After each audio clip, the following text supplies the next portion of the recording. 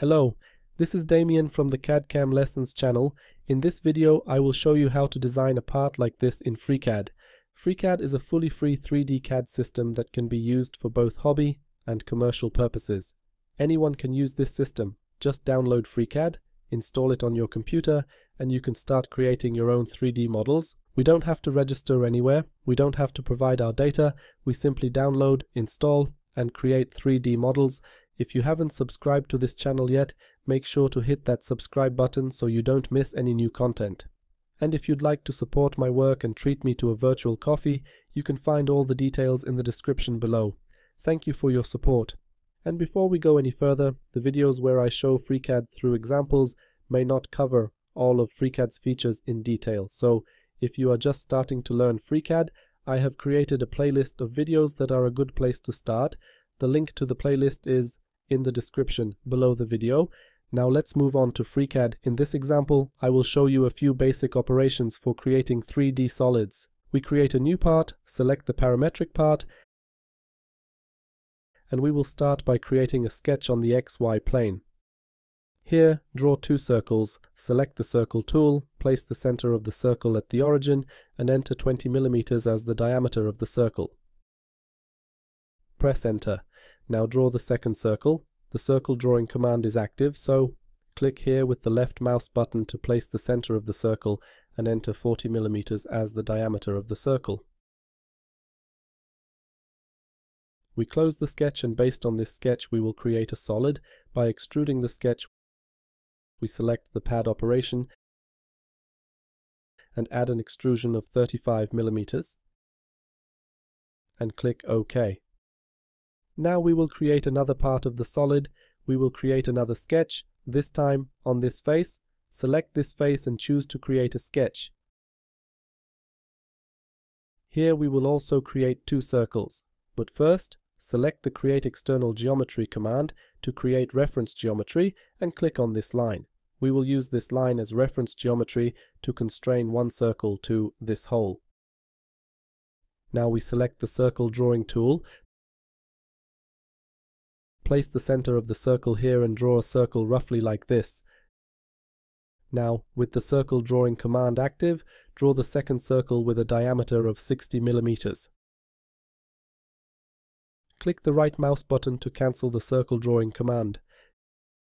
Click the left mouse button on this circle, click the left mouse button on this line, and select the equality constraint. This way, we linked this circle with the edge of the hole, and this circle simply has the same diameter as this hole. We close the sketch and add an extrusion of 15 millimeters. We click OK, and thus we have created something like this. Now we will create another sketch. This time we will create a sketch on the YZ plane. Select this plane. Here, select the Create External Geometry command and specify this line as reference geometry. Switch to the section view. Select the circle drawing tool.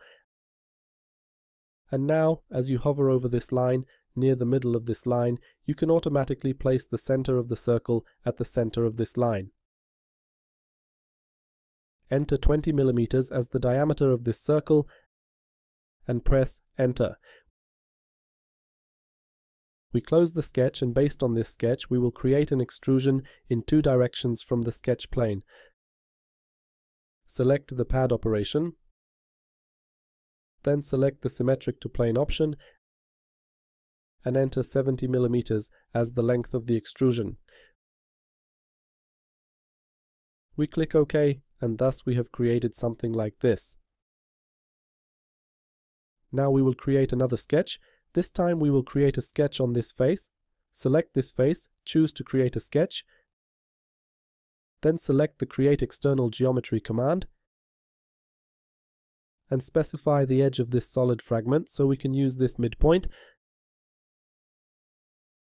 Select the circle drawing tool and place the center of the circle at this point. Enter 10 millimeters as the diameter of the circle and press enter. Now close the sketch and based on this sketch we will create a hole in this solid using the pocket operation. select the pocket operation, and here select the type through all, so that it creates a pocket through the entire solid. We click OK and we have something like this. Now we will create another sketch. Select to create a sketch, and we will again create a sketch on the YZ plane. Select this plane and start by creating reference geometry. Use this command and create reference geometry based on this edge and based on this edge. Right click to cancel this command and switch to the section view. Then select the polyline drawing command and create a polyline approximately so that the first point of the polyline is placed roughly here on this line and draw a shape like this.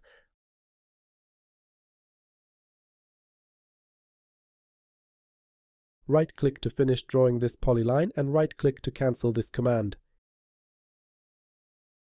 If this line is not a horizontal line, select this line and choose the horizontal vertical constraint. Next, we will add dimensions. Select this line and press the D key on the keyboard to activate dimensioning. Enter 24 mm as the value of this dimension. Next, we will add a dimension between this point and this point and enter 4 mm here. Here I want this sketch to be a little inside this solid because we will add an extrusion based on this sketch. And since this solid has a cylindrical shape, the sketch needs to be a little inside the solid for the extrusion to look good. Then let's add a fillet in this corner, select the fillet command, click this point and a radius has been added here. Right click to cancel the fillet command. And select this radius. Press the D key to add a dimension here and enter 10 millimeters as the dimension. Then let's add the distance from this point to this point and enter 25 millimeters as this distance. Okay? Select the circle drawing tool and draw a circle whose center will be at this point enter 10 millimeters as the diameter of the circle. Okay? We close the sketch and now we will add an extrusion based on this sketch. Note why this sketch is inside this solid, because here we have a cylindrical part, and if the edge of this sketch coincided with the edge of the solid, there would be places here where there is no material, because the extrusion would simply look bad. Now select the pad operation to add an extrusion. Here, select the symmetric to plane option to add the extrusion symmetrically from the plane. We click OK to confirm it. Now let's add fillets to these edges. Select this edge and this edge. Select the fillet command and add a radius of 10 millimeters here. We click OK and have something like this. Now let's move on to create another part of this solid. We will create another sketch, select the create sketch command, and now we will create a sketch on the XZ plane. Here we will start by creating reference geometry. Select the create external geometry command and create reference geometry based on this edge. Then switch to the section view. Now select the line drawing command and place the first point of the line on this line. As you hover near the middle of this line, the first point of the line will automatically be constrained to the midpoint of this line. Draw a line that is 50 millimeters long and press enter. Enter 90 degrees as the angle and press enter. We have created the line. Right click to cancel the line drawing command. Now select the arc drawing command and draw an arc using three points. For the first point of the arc, select one of the endpoints of the line. For the second point of the arc, select the other end point of the line. For the third point, place this point roughly here. Right-click to cancel the arc drawing command. We will place this point on this line, select this point, select this line, and choose the coincident constraint.